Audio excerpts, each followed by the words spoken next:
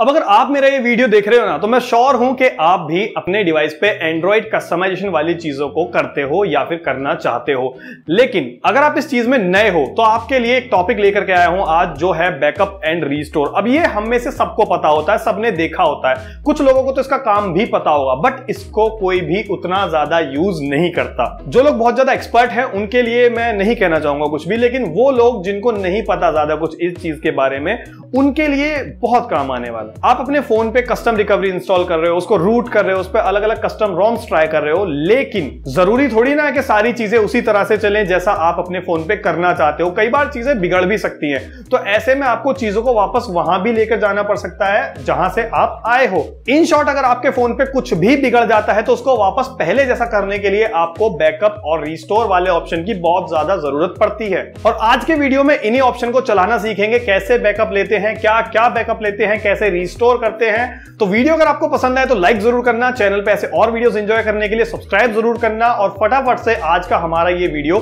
शुरू करते हैं। तो अभी जो सॉफ्टवेयर आप लोग मेरे फ़ोन पे देख सकते हो, जिसे मैं यूज़ कर रहा हूँ, ये मेरे फ़ोन पे एक रोम है। ये कस्टम रोम भी हो सकती है स्टॉक रोम भी हो सकती है बट मेरे केस में ये एक कस्टम रोम है। जब आप पहली बार अपने फ़ोन का बूट लोडर अनलॉक करोगे, उस पर कस्टम रिकवरी इंस्टॉल करोगे तो आपके फ़ोन पे वो स्टॉक रोम होगी और उसका बैकअप लेना बहुत ज़्यादा ज़रूरी है क्योंकि अगर कई बार आप चीज़ें अपने डिवाइस पे अपने तरीके से कर रहे हो और वो प्रॉपरली नहीं हो पाई तो आप फंस जाओगे। फिर आपको लगेगा कि इसको कम से कम पहले जैसे तो कर ही लूँ। तो उस केस में बैकअप बहुत ज़्यादा काम आएगा। अब ये एक कस्टम रॉम है तो इसको हम बैकअप करेंगे। दोनों का प्रोसेस सेम रहने वाला है, चाहे आप कस्टम यूज़ करें, चाहे आप स्टॉक यूज़ करें। कैसे बैकअप करना है? चलिए देख लेते हैं। तो सबसे पहले आपको अपने फ़ोन को आपकी कस्टम रिकवरी में बूट कर लेना है। कस्टम रिकवरी कोई भी हो, सबका काम करने का तरीका एक ही जैसा है और जो सबसे ज़्यादा पॉपुलर है ऑरेंज फॉक्स और टी उनका तो लगभग एक ही तरीका है। बट फिर भी एक चीज़ जो है, मैं आपको रिकमेंड करना चाहूँगा, वो क्या है कि जिस भी कस्टम रिकवरी का इस्तेमाल करके आप बैकअप लें, उसी का इस्तेमाल करके आप रिस्टोर भी करें, वो थोड़ा सा ज़्यादा आसान रहता है। अब आप चाहे टीम विन कर रहे हैं, जो कि TWRP है तो उसी से सारा काम करें। अब यहाँ पे आपको दो ऑप्शन दिखेंगे बैकअप एंड रिस्टोर का। तो बैकअप में हम लोग जाएँगे। अब बैकअप में देखो, आपको ना काफ़ी सारे पार्टीशन यहाँ पे दिखेंगे। अब ये आपके फ़ोन के अलग अलग पार्टीशन हो सकते हैं, जिनमें आपके फ़ोन का जो सॉफ्टवेयर है, वो इंस्टॉल होता है। सबसे पहले बूट की बात करते हैं तो ये जो बूट है, ये आपके फ़ोन का कर्नल होता है।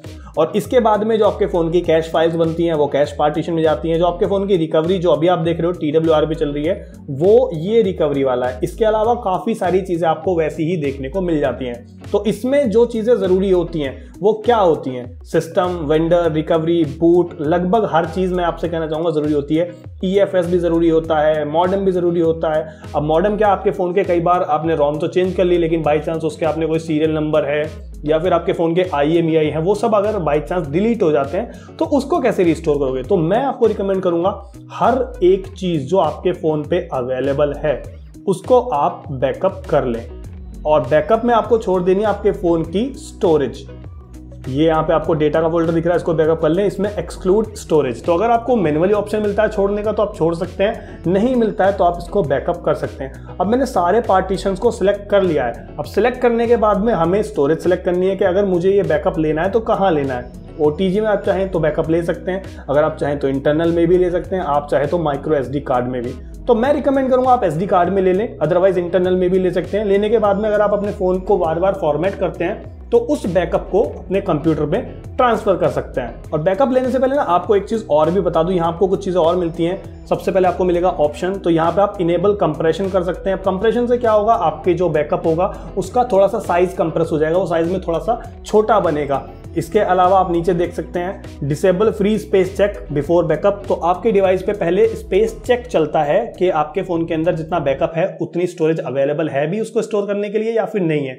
तो अगर इस चीज़ को डिसेबल करना चाहते हैं, वो आप कर सकते हैं। यहाँ पे आपको एक ऑप्शन दिखेगा skip digest generation during backup well ये मुझे नहीं पता इससे एक्चुअली क्या होता है, ना ही कभी इसको इतना ज़्यादा यूज़ किया है। तो इसको हम फ़िलहाल स्किप कर देंगे। इसके अलावा इंक्रिप्शन अगर आप चाहते हैं आपका जो बैकअप है, उस पर आप पासवर्ड लगा दें तो यहाँ से आप कोई भी पासवर्ड रख सकते हैं। एंड उसके बाद में आप नीचे से ओके करके उस पासवर्ड को सेट कर सकते हैं। वेल मैं अभी कोई पासवर्ड नहीं लगाने वाला और रिफ्रेश साइजेस ये मतलब यहाँ आपके जो भी साइजेस उनको रिफ्रेश करेगा।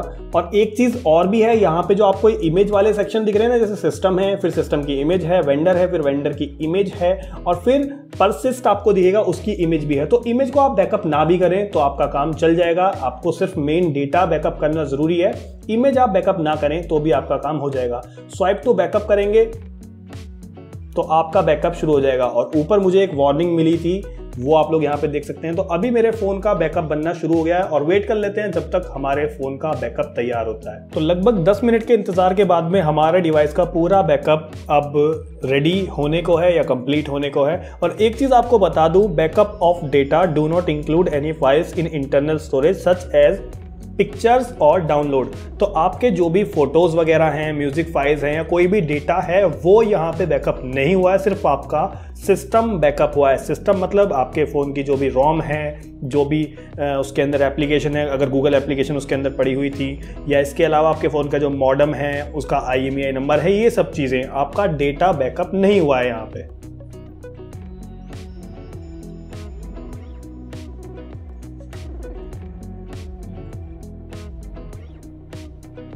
तो फाइनली हमारा बैकअप कंप्लीट हो गया है। टाइम कितना लगाया? 625 सेकंड और लगभग मैं आपको 10 मिनट बता रहा था तो वही समय हुआ है।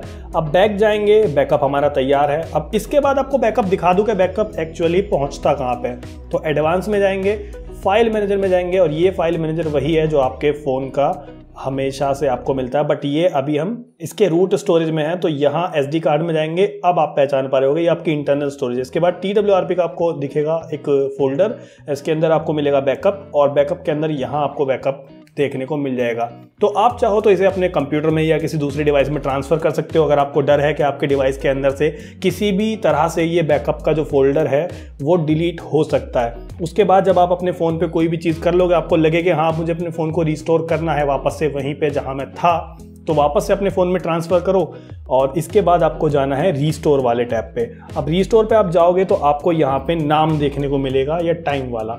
अब नाम आप लोग अपने हिसाब से सेट कर सकते थे, वो मैंने इतने ध्यान उस पर इसलिए नहीं दिया, क्योंकि जो ऑटोमेटिक वाला होता है, वो ज़्यादा बेहतर होता है। यहाँ पे आप चाहो तो अपने हिसाब से नाम रख सकते हो कि कौन सा ओएस है क्या क्या है, लेकिन अगर आप नहीं नाम चूज़ करोगे तो यहाँ आपको टाइम और उसके कुछ नंबर वगैरह बाय डिफ़ॉल्ट मिल जाते हैं। तो वही डेट और सीरियल नंबर सारी चीज़ें हमें यहाँ पे देखने को मिल रही हैं। अब इस पर जैसे ही हम टैप करेंगे तो क्या क्या हमने बैकअप किया था, वो सारी चीज़ें हमारे सामने आ गई हैं। अब इसमें से अगर आप चाहो तो कोई भी ऑप्शनल चीज़ अपने डिवाइस पे रीस्टोर कर सकते हो।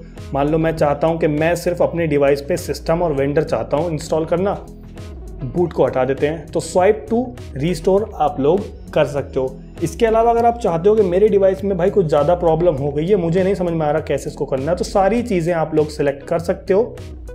ये सारी चीज़ें आपने सेलेक्ट की और इसके बाद में स्वाइप टू रीस्टोर और जैसे ही आप कोई कस्टम रॉम इंस्टॉल करते हो, बिल्कुल उसी तरीके से आपके डिवाइस पे ये बैकअप जो है, वो भी रिस्टोर होना शुरू हो जाएगा। और जैसे ही ये चीज़ खत्म होगी, खत्म होने के बाद आप अपनी डिवाइस को नॉर्मली रिबूट कर लेना एंड रिबूट करने के बाद में आपका फ़ोन नॉर्मली चालू हो जाएगा। तो बस दोस्तों, यही था आज के इस वीडियो में बैकअप एंड रिस्टोर के ऊपर एक ट्यूटोरियल मुझे उम्मीद है अब आपको बैकअप एंड रिस्टोर का जो इंपॉर्टेंस है, वो समझ में आ गया होगा। इसको कैसे करते हैं, वो भी समझ में आ गया होगा। और अगली बार अपने डिवाइस पे कोई भी चीज़ करने से पहले आप इसका इस्तेमाल ज़रूर करोगे। अपने डिवाइस पे कोई भी, किसी भी तरह का रिस्क नहीं लोगे। तो अगर आपको वीडियो अच्छा लगा तो लाइक ज़रूर करना। आपके ऐसे और तूफानी दोस्त हैं जो अपने फ़ोन पे ऐसी चीज़ें करते हैं तो उनके साथ में ये वीडियो ज़रूर शेयर करना। और चैनल पर नए हो तो चैनल को करना सब्सक्राइब मैं आपसे मिलता हूँ अगले वीडियो में, तब तक के लिए गुड बाय